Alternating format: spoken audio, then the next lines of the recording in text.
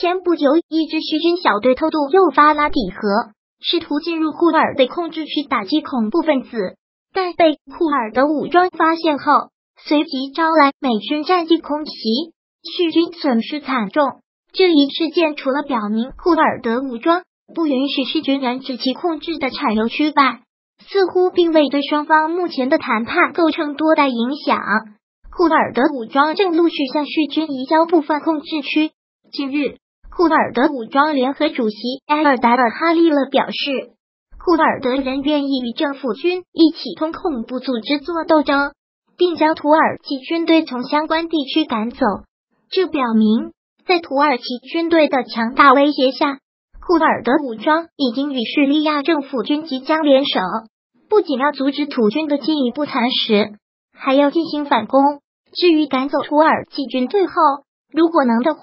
叙北部是由库尔德武装控制，还是叙利亚政府军控制，则没说。很可能彼此之间还是要爆发一场大战。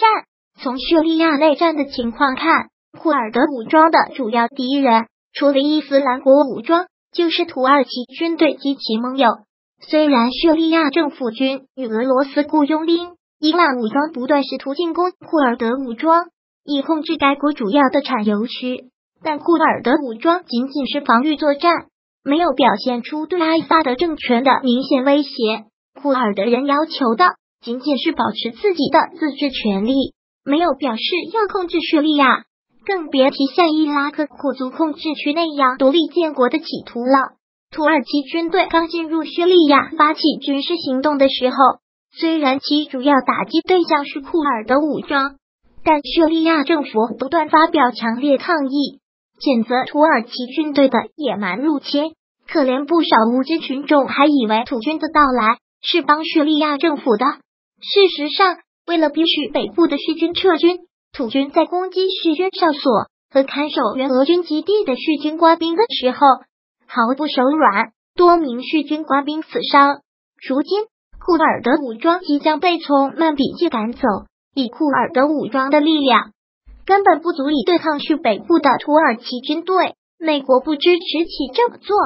而叙利亚军队也没有了库尔德武装作为缓冲，需要直面土耳其军队。现在叙南部的叙军正不断调往叙北部，推测很可能会发起伊德利卜战役。叙军的行动很可能不会获得俄军的强力支持，实力本来就不足，与库尔德武装联手以增加保险系数。至于赶走土军后如何分配去北部地盘，那就是另一个问题了。如果喜欢本视频，请分享并订阅本频道，别忘了按赞哦。